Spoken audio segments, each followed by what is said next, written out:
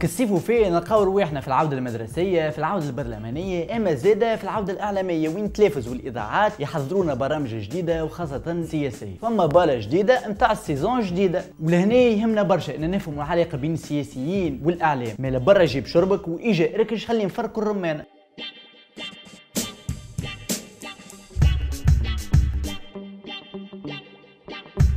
برا ننطلقوا مع الميركاتو التلفزي والإذاعي. وين التاسعه تستحفظ على التشكيلة؟ بوجود برهان بسيس اللي كان في نداء تونس والحبيب بوعجيلة اللي كان في حراك شعب المواطنين. وزيد تتعاقد مع خليفة بن سالم اللي كان سابقا في قلب تونس ونسمة وزاد مع محمد الترودي من حزب مشروع تونس. ونتعداو الموزايك أف إم في أحلى صباح وين نلقاو وجه جديد اللي كان بارز في الساحة السياسية وزير سابق اللي هو إياد الدهماني. إذاعة أخرى عملت تغييرات وتعديل في التشكيلة اللي هي إي إف إم وين الوزيرة السابقة مجدولين الشيرني كانت حاضر لكن المدة قصيرة. ونلقاو حضور يومي للقيادي السابق في حزب المؤتمر من أجل الجمهوريه طارق الكحلاوي في برنامج 90 دقيقة. يا أخي هذه تلافز ولا احزاب يا أخي العلاقة هذه بين الإعلاميين والسياسيين عادية. بالطبيعة لا السياسيين والأحزاب يسيروا الحياة العامة. واخلاقيات العمل السياسي متضاربة مع دور الصحافة وأخلاقيات المهنة هذه. فرق بعيد ما بين السلطة والسلطة المضادة ما بين اللي ينقل الخبر ويحل وما بين اللي يوظفه ويحكم به. وزيد لقاو تخريجه لا عندها لا ساس لا راس ولا ما يقولوش صحافي أما يقولوا إعلامي.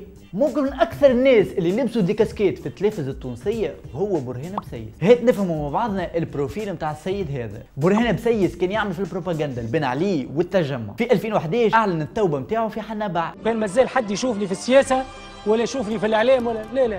خليناها لما ليها. بعدها ولا في نسمة. مدير برمجة بعد مذيع بعدها في قناة التاسعة وين يقدم في برنامج سياسي يومي. في 2017 ولا من قيادات نداء تونس حزب البجبوج.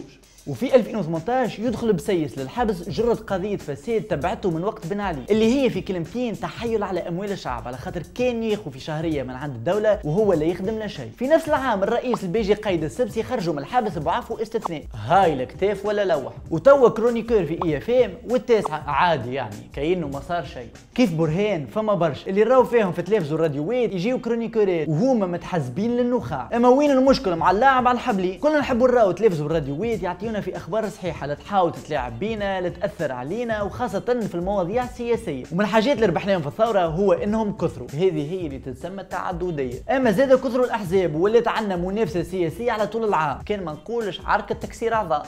اما تمشيش تغلط وتخمم. وإنه العرك والمعروك للصالح العام ومصلحة البلاد والعباد. ليه؟ على خاطر الإعلام بالنسبة لبرشا سياسيين ما هو إلا أداة. يا إما باش يأثروا بيه على العباد ويربحوا أصوات يا إما باش يصفيوا عركاتهم وحسابات وباش ما تقولوش هاو يتبلى عليهم هاو باش نعطيكم أمثلة. في الانتخابات التشريعية اللي فاتت فما حزب لا عمري سمعت به ونتصور أنتم زاد. حزب الرحمة. بت صباح نلقاه ربح أربع بلايص في مجلس النواب. طلعوا كيفاش؟ رئيس الحزب سعيد الجزيري عنده إذاعة سماها القرآن الكريم. ربي يقوي إيمانه ويثبت عزيمته آمين. الراديو هذا يجبد fréquence من poteau محطوط فوق أرض ملك للدولة في زغوان مصنفه منطقه عسكرية. لا رخصة لا إجازة من عند الهيكا إذاعة القرآن الكريم بث كان في تونس الكبرى. وطلعوا وين ربح الحزب هذا؟ أي نعم الأربعة بلايص هزهم في ولايات تونس الكبرى. هذه البداية ومازال مازال فما مثال أكبر وأقوى عرفتوه في الانتخابات اللي فاتت زاد واللي من جرته موجود توا ثاني حزب في البرلمان. شكون فينا ما سمعش عملت نسمة période الانتخابات؟ بمسلسل تركي ومسلسل تركي فما جمعية خيرية تفرق في الماكله والإعانات. تلفزه تعدي شركة الإشهار الطيب والحزب سربي الكل على ملك نبيل وغازي القروي. لحد لهنا جوك أحلى جو. لا محالة من بعد الثورة سي نبيل مدخل خشمه في السياسة تحت حس مس. في 2016 نبيل القروي يخرج ويستقيل شكليا من نسمة كبي دي جي باش يدخل رسميا في الحياة السياسية مع نداء تونس. هذا بعد ضغط كبير من الهيكا مش مزية يعني. أما بقوة القانون خاطر الفصل التاسع من قرار الشروط تاع التلفز الخاصة يمنع أي واحد عنده مسؤولية حزبية إنه يملك قناة وزيد وقتها فضح روحه بروحه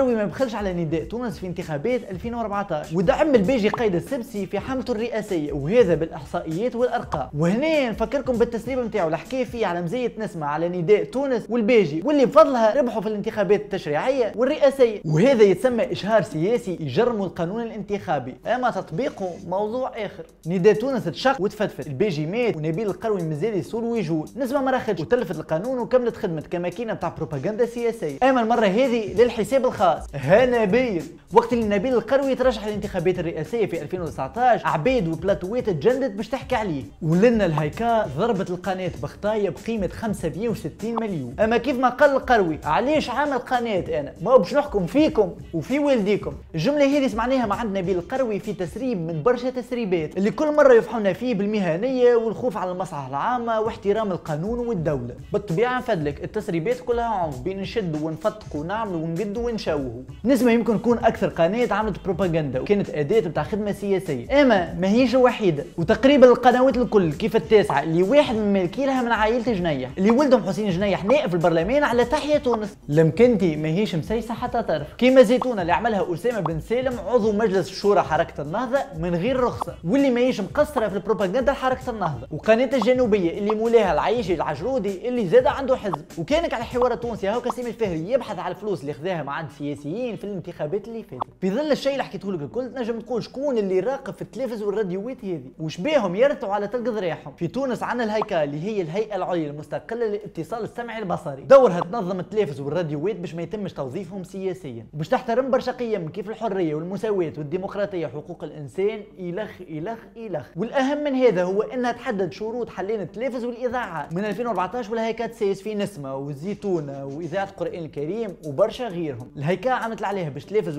هذه يسويوا وضعيتهم القانونيه وباقي شيء. لين في فيفري في 2020 تقرر إنها تصب dossier بنسمة وقناه الزيتونه وإذاعة القرآن الكريم عند هيئة مكافحة الفساد على خاطرهم ما طبقوش قرارات الهايكا الحكومة بطبيعه ما ساندتهاش وما طبقتش قراراتها. زعما علاش على خاطر حماها حراماها. ومالكي القنوات قراب من الاحزاب الحاكمة. ساعات حتى قيادات في الأحزاب هذيا اللي يسرق يغلب اللي حاحي التلافز حسبتهم بالكدا والخطايا اللي تخلص فيهم على مخالفة القوانين ترجع فيهم البرامج وال sponsor. السياسيين والعباد ورا التلافز هذه حاليا يحبوا يعديوا مشروع قانون اللي يخلي التلافز والراديوات تتعمل من غير لا رخصة لا شيء. يعني ما يستناوش للدولة للهايكا وهكاكا يزيدوا يرفعوا فيها أكثر ويعملوا اللي يحبوا عليه. وقيد لي على حرية التعبير والصحافة. وطلعوا زعما شكون وراه هذا. ائتلاف الكرامة حليف جديد نتاع قلب تونس حزب نبيل القروي. وحليفه من الآخر حركة النهضة. الترويكة جديده تحب ترتع كيما تحب والفاهم يفهم. هذه كانت حلقتنا من تركينة ما تنساوش باش تعملوا j'aime وتحطوا لنا commentaire شنو رأيكم في الموضوع. وأهم حاجة اعملوا abonner. وتلقاو الانستغرام نتاعي والانستغرام تاع نواة مشيو غاديك تلقاو برشا contenu. وأنا نشوفكم في الحلقة الجاية. bye bye.